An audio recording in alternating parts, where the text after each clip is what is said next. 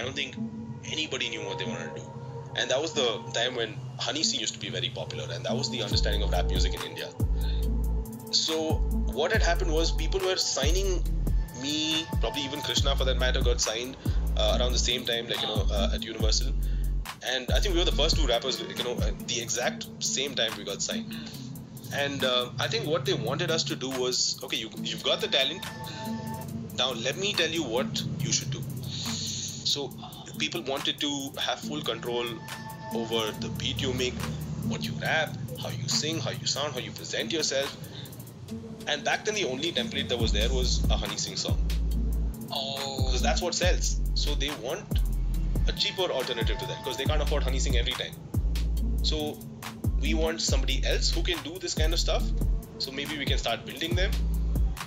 Because that's what labels do generally. If you see, like you know, labels have like you know, you take any label even today, they have those big top rappers, Ah. and I think they wanted to like you know build one rapper per label. Hmm. Because I think Honey Singh was independent, but more so uh, he was working more uh, with T series, if I'm not wrong. DC. So they had their star, and I think every other label wanted to build their own stars. Hmm. Clearly, like you know, they weren't really aware of. Right. how- They were they were taking uh, calls creative process as well. Yes.